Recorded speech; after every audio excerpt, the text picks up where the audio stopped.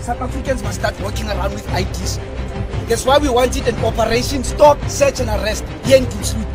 Police must randomly search us. Who are you? Where are you from? Where's your documentation? It's not apartheid, chief. It's not apartheid. It's not apartheid. South Africa for South Africans. Call it whatever. You don't reside here. It's the people that reside in Diepsloot that are victimized.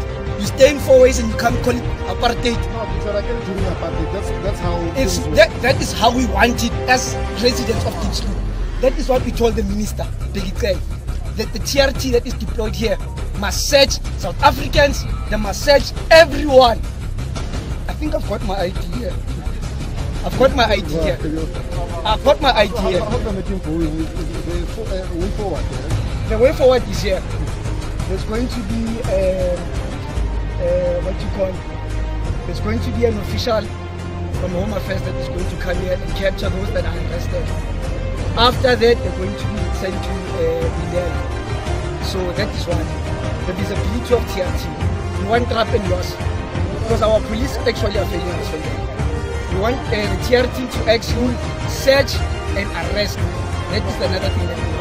That is all. So this guy here, we don't know what he wants. Did, did he speak in the meeting? He was about to speak. He introduced himself as a Zimbabwean. Uh, I don't know whatever forum there. Okay, why why would you not want Zimbabweans to participate in what who reside with you? Why would you want them not to participate while they live within this community in a, in a process that seeks to find a solution?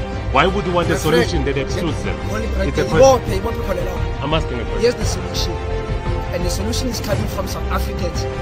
We don't want Zimbabweans to intervene or assist us in the solution. We are the solution, and we are saying they must leave. They must fuck off. Even that is all. They must go. We don't want them to come here and be part of the stakeholders meeting. You understand what I'm saying? Even the They must go. ones, Even the documented ones. My sister, listen here. We want all Zimbabweans to leave because the ones that are documented are the ones that are bringing the ones that are not documented here to come and kill us. You understand? Where are they working? Man, understand what I'm saying? Understand what I'm saying? I'm saying Zimbabweans are humans. Zimbabweans are interviewing Zimbabweans are patients. I reside here. I know what I'm talking about. A Pakistani currently on Wednesday, they were locked inside their spaza shops. Pakistanians are not roaming around Diepsloot. You understand? Zimbabweans are roaming around Diepsloot as they please.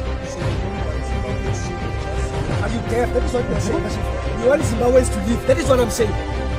That is what I'm saying. They must leave.